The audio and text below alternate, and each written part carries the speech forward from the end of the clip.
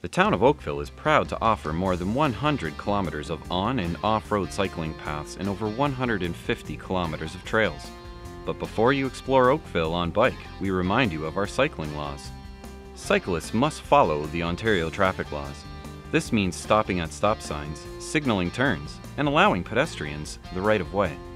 It's the law in Ontario that cyclists under the age of 18 must wear an approved bicycle helmet.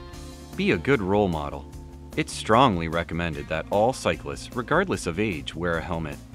Parents and guardians cannot knowingly allow cyclists under the age of 16 to ride without a helmet. Make sure your bicycle meets all Ontario safety requirements.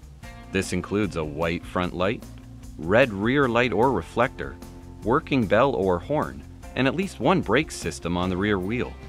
For added safety, please ensure white reflective tape is visible on the front forks and red reflective tape on the rear forks.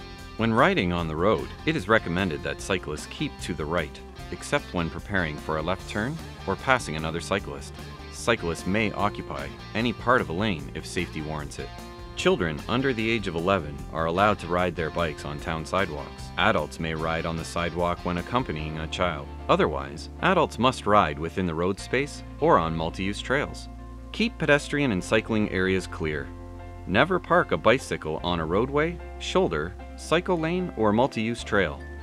Regardless of age, cycling on sidewalks in downtown Oakville, Kerr, or Bronte business areas, as well as wharfs and piers, is prohibited. When cycling on roadways, always ride single file. Pass on the left and give advance warning to cyclists to ensure everyone's safety. Pedestrians always have the right of way, so be sure to give those on foot warning as you approach by using your bell or horn.